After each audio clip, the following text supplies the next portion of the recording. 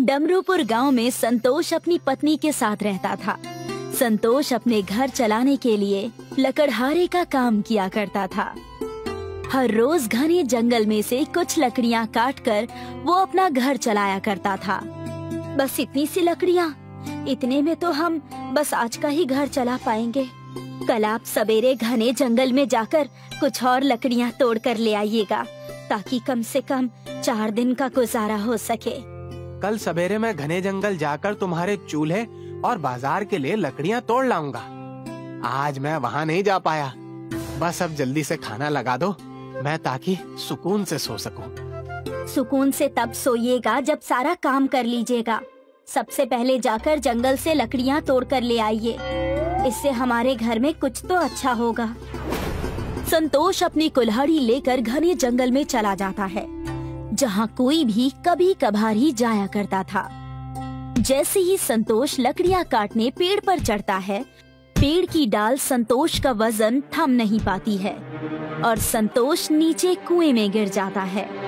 वो देखता है कि चारों तरफ़ प्यास ही प्यास है। कुएँ के एकदम अंदर और एक आवाज़ आती है। शांत हो जाओ, हड़बड़ाओ नहीं, मैं एक जादुई कुआँ हूँ। डरो मत। अरे कि, क्या, क्या मतलब? डरो मत। यहाँ यहाँ मेरे प्राण संकट में है और तुम कह रहे हो कि डरो मत। तुमने मुझे अंधेरे से आज़ाद किया इसलिए मैं तुम्हें वरदान देता हूँ। इस कुएँ के प्याज भी जादुई हैं। इसमें वरदान है कि जो इसे खाएगा वो दो हो जाएगा यानी उसकी एक और छवि बन जाएगी जो उसके जैसी ही दिखेगी। और उसी ही की तरह काम और बातें करेगी। अगर ऐसा है तो मेरी बहुत मदद हो जाएगी। खेतों में हल के लिए बाज़ार लकड़ियाँ ले जाते हुए और भी है। हम्म, ज़्यादा खुश मत हो जाओ। इस प्याज का असर तब तक होगा जब तक सूरज की रोशनी होगी।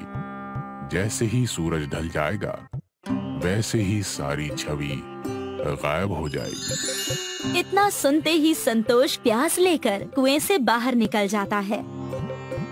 संतोष का खुशी के कारण कोई ठिकाना ही नहीं रहता।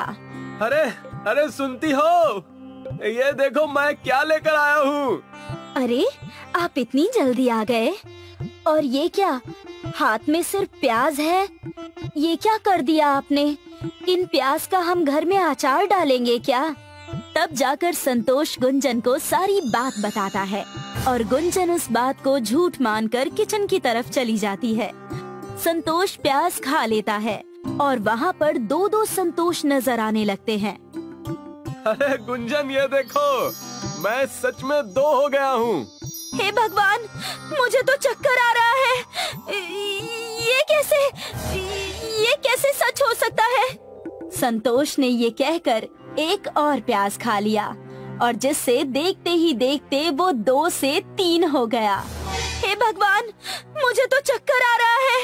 ये कैसे ये कैसे सच हो सकता है? और फिर क्या था? संतोष ने इस चीज़ का फ़ायदा उठाया।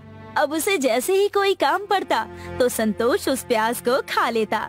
जैसे कि खेतों में हल चलाना जंगल से लकड़ियाँ काट कर ले आना या बाज़ार से कोई सामान लाना या और भी कुछ। सुनिए जी आज तो आप दो प्याज खा लीजिए। हमारे खेतों में बुआई करनी है और बाज़ार से खाद भी लेकर आना है। अरे इसकी चिंता मत करो। मैंने पहले से ही दो प्याज कुएँ से ला दिए हैं। मैं इन्हें खाकर दिन ही दिन में सारे काम निपटा लूँगा। हो सके तो मुझे भी दे दीजिए। आज घर में भी बहुत सारा काम है। पूरे घर की निपाई पुताई करनी है और साथ में साफ़ सफ़ाई भी।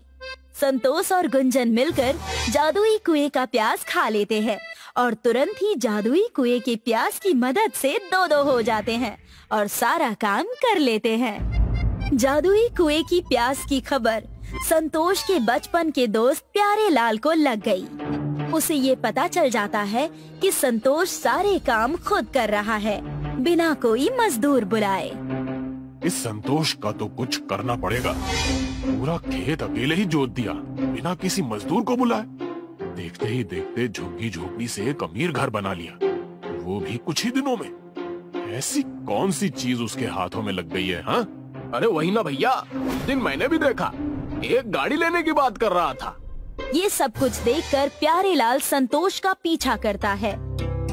और पीछा करते करते उसके घर चला जाता है और वहाँ जाकर देखता है कि संतोष का घर पहले से बहुत अच्छा और काफ़ी बड़ा हो गया था। जाइए और जाकर कुछ और प्याज लेकर आइए ताकि सारे काम हो सके। अरे हाँ हाँ भाग्यवान मैं जा रहा हूँ। हाँ हाँ और हो सके तो इस बार खूब सारी खाइएगा। मुझे मायके में भी कुछ काम करवाने हैं। मैं अपने भाइयों को ज़्यादा तकलीफ़ नहीं देना चाहती। प्यारे लाल फिर संतोष का पीछा करता है और देखता है कि संतोष जादू के कुएँ में जा रहा है और वो उस कुएँ से प्याज लाकर खा रहा है। प्याज खाते ही संतोष एक से दो हो जाता है। ये दृश्य देखकर प्यारे लाल को अपनी आँखों पर भरोसा नहीं होता। ओ तो ये बात है। इस जादुई कुएँ की मदद से संतोष इतनी तरक्की कर रहा है। अब मैं समझा। प्यारे लाल उस कुएँ में चला जाता है और वहाँ जाकर उस प्याज को खा लेता है। लेकिन प्यारे लाल के लालच की वजह से प्याज को खाते ही प्यारे लाल कुएँ में धंसने लगता है। पापी इंसान उस लक्कड़हारे की भलाई तुझसे देखी नहीं गई जो तू यहाँ भी आ गया। अब सजा भुगत। अरे अरे अरे बचाओ अरे बचाओ मैं मैं, अंदर जा रहा हूँ। बचाओ बचाओ अरे बचाओ मुझे। प्यारे लाल की आवाज़ सुनकर संतोष उसे बाहर निकालता है। आज तो तू बच गया। अगर अगली बार कुएँ और संतोष की तरफ़ देखा ना तो समझ लेना तेरी खैर नहीं। इतना सुनते ही प्यारे लाल वहाँ से दुम दबाकर भाग जाता है। सारी बातें संतोष घर जाकर गुंजन को बताता है। पहले तो गुंजन घबरा जाती है लेकिन संतोष को सही सलामत देखकर वो उससे कहती है शुक्र है कि आप सही सलामत हैं, वरना पता नहीं क्या हो जाता। मैं तो ये सोच भी नहीं सकती हूँ जी। भगवान करे अब हमारे परिवार पर कोई और मुसीबत ना आए किसी और की बुरी नज़र ना लगे। सब कुछ अच्छा हो। संतोष और गुंजन अपनी आगे की ज़िंदगी खुशी खुशी बिताने लगते हैं।